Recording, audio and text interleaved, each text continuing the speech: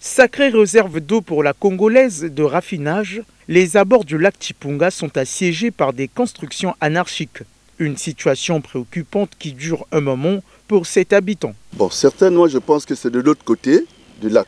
Parce que là où il y a la forêt, de l'autre côté, il y a un peu le là Parce que de ce côté, les limites sont respectées. Mais c'est de l'autre côté qu'il y a l'occupation anarchique. Mais de notre côté ici, je pense que c'est bien respecté. Ça fait près de 5 ans, 10 ans, hein. les autorités sont informées parce qu'il y a eu entre-temps le transport du préfet, du maire, ils sont allés sur le lieu. Mais sauf qu'il y a l'entêtement des occupants. Et au vu des chefs.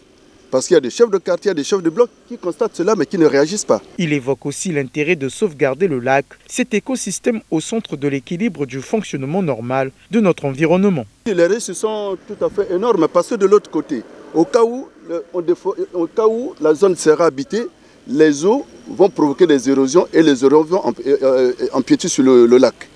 Or, le lac, la raffinerie sera habitée à, partir du lac.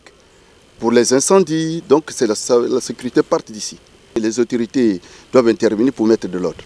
Il serait de bonne loi que les autorités compétentes se saisissent de cette situation afin de sauvegarder ce lac bien qu'important pour la Coraf, aussi pour la nature et ses habitants.